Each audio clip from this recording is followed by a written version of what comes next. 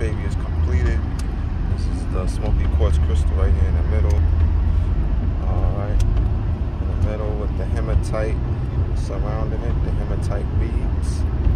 Okay, it's it's a uh, chaos sigil. On this side I have the copper spiral, which I'm gonna be adding a triskelion to. And um, so this is considered the front. And we have here spiraling chain, handmade. Everything's handmade. If you would like something like this in your life, message me. It's a powerful piece. It's highly programmable.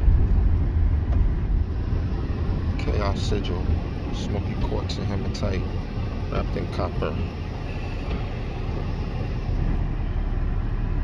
Beautiful, isn't it? Yeah.